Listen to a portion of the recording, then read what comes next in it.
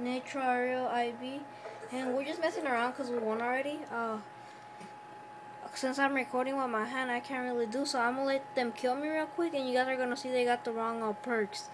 They got flak jacket and awareness. Let, let me just go into the open and die. Alright, so he killed me. He's wearing flak jacket and awareness. Nitro IB. The kill cam. So yeah, it's GB Baron, those ain't allowed. So yeah, that should be pretty good proof that they're using the uh, inappropriate perks.